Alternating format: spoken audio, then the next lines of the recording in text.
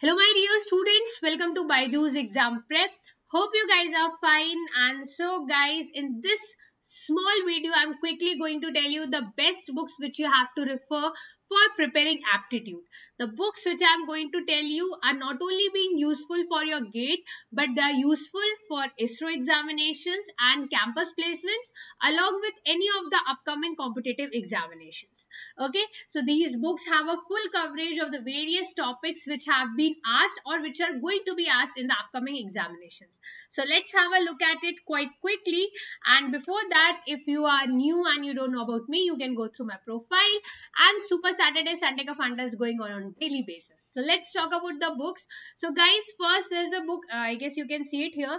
Uh, there's a book of quantitative aptitude by Dr. R.S. Agrawal, S. Chand publication. This book is a good book if you want to go for quantitative aptitude.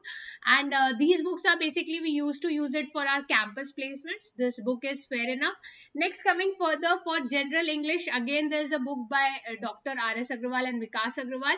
This is also S. Chand publication. Okay, so for quant and for English, I have told you. Similarly, if you talk about reasoning part, verbal and non-verbal reasoning, there's a book again by R.S. Agrawal. See the books which I'm telling you, these are uh, they are not that much costly. First of all, secondly, uh, the questions are from the basic level, so it's not that uh, suddenly an advanced level of questions comes and you are not able to solve it. Okay, so these questions are pretty fair enough, and such questions are being asked. But if you want to level up your preparation and you want like more tougher questions, then let me tell you, there's a book. This personally, I have uh, studied from this book. I have studied from R.S. Agrawal and from uh, this book that is How to Prepare Quantitative Aptitude uh, by Arun Sharma sir. Now let me tell you well in advance. Actually, when you see this book, it has different level of question, level 1, level 2, level 3. See, you are not preparing for CAT, so level 3 is not at all important for you. You have to complete level 1 if at all you are interested and level 2 if you want.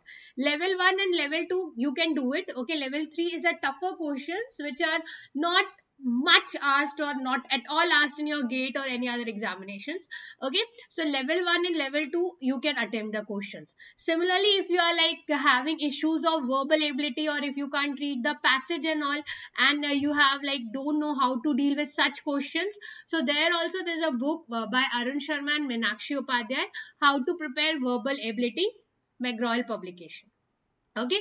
So these are the reference book. Uh, you can refer to any of them but just uh, let's see that you just have an authentic source because there are lots of copyrighted materials which are flooded in the telegrams and uh, uh websites. So kindly look for the one which is authentic while you start your preparation. Okay?